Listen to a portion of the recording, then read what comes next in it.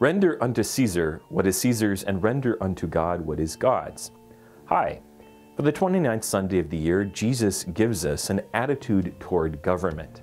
For the first reading of the prophet Isaiah, the king of Persia is told by the Lord, Though you knew me not, it was I who gave you your title. Something that Jesus would clarify later when he was face to face with Pontius Pilate, the highest reigning authority in the land, when he said, You would have no power were it not given you from above.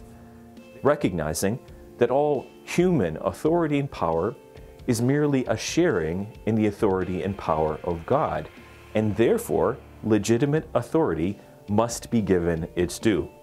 In the gospel, the Pharisees were trying to shake Jesus up, implying that he didn't really care about what Caesar thought.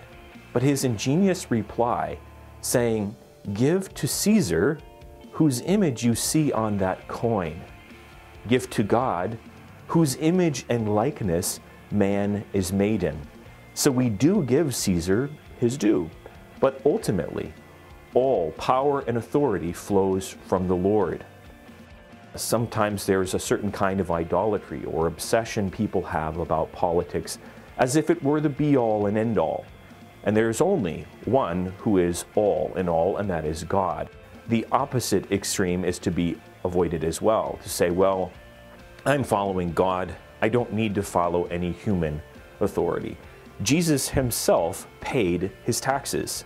Jesus followed legitimate authority on earth, showing us an example of what we must do.